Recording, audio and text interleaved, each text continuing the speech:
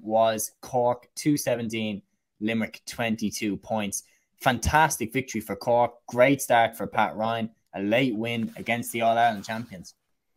Yeah, look, and this was this was actually a really, really good game for the time of the year, and I really, really enjoyed this. And that look, first half, I suppose, bit bit daunting, I suppose, for Cork was that they go in 16-8 down at half time, and uh, look, Limerick were absolutely turned it on. Hegarty was unmar- unmarkable in the first half. That everything he touched was just turned to goals straight away, and that they just seemed to be really, really sharp. They were hurling really, really well. That they were getting like Adam English in the corner as well, looked really lively too. And they just looked to be like Declan Hannon and Dan Morrissey were hoovering up everything too as well.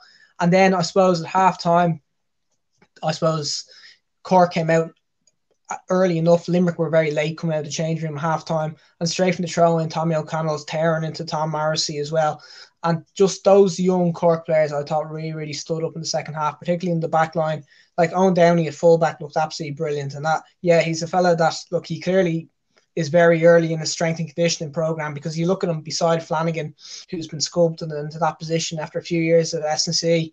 Whereas Downey's a big, big, strong, tall fella as well, but just doesn't look like he's the same build as well. But I thought he was absolutely brilliant. He hit, hit an inspirational score as well, and he just looked really, really good. So he looks like a player that can that could really be built upon. Conor O'Callaghan beside him, really tigerish cornerback as well. O'Connell I already mentioned, and look, Ciarán Joyce, like running out of words to describe him. He's absolutely fantastic as well. That just the the like the inspirational figure that he is, and just like I think for Cork, yeah, they, they their team was probably closer to their starting fifteen, I'd say later on the championship than what Limerick's is going to be.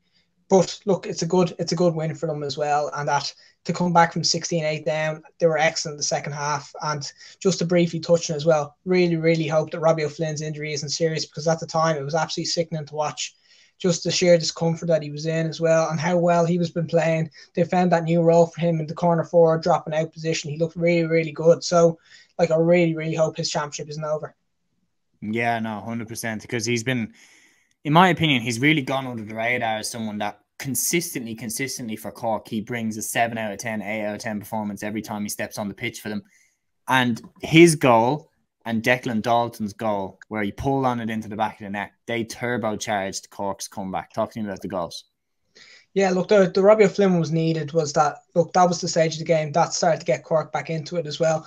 Dalton, I don't think I can recall him in the first half getting on a single possession that it just, the ball didn't come his way whatsoever. And then the second half, he he essentially only had kind of two touches really in it. There, he laid the assist for O'Flynn for the goal, and then he pulls in the goal on the ball for the goal himself. So look, it shows the the what what there is there with Dalton too, and I think that he's definitely a player worth sticking with for Cork as well. Is that just he has that potential and he's got goals in him as well, and we've seen that him do it before for Cork too. So look, and I think the other big impact of Kingston off the bench was really electric. And on a day when Lehane probably didn't fire as well as well. Like he seemed to be, he seemed to be his confidence seemed to be really low, and he was making mistakes all over the place. But when the big moment at the end of the game with the score to, to level it up as well, he hit that score. So look, I think they, they'll be enthused by that as well. But like I said, I don't think Limerick will be too worried because when they looked fit for the first 50 minutes of that game, they were playing really, really good stuff as well. And they did lose Hannon to like what looked like a bit of a cut in his hand anyway as well. He went off after about the 15 minute mark. Hegarty went off. And look, Cian Lynch came on from yeah, but like it was clear that Lynch hasn't really got a whole lot of work done. He didn't really look uh, he didn't look himself on the day. So they they have to ease him back into it as well. So like I think I think Cork will be delighted to have got the win. But at the same time, like I think it's the same thing as last year where I don't think Limerick will be too concerned at all. And I think they'll actually probably be very satisfied with their performance because I think they showed a lot of a lot of positive signs, albeit they will be a little bit worried about look it was a tough debut for David McCarthy in his debut in goals. I thought found it quite difficult as well. And then the full back line, the backups Richie English and Aaron Costello definitely got the run around as well from the Cork forwards too. So that's I think the only slight concern is that they're the only two lines I think that Limerick were probably be a bit disappointed with. Yeah, and then another positive, I thought Colin Coughlan again looked fantastic at wingback for Limerick throughout the game, even when Cork had them on the back foot. But definitely a perfect start for Pat Ryan, and then the score at the end to win it, just incredible scenes.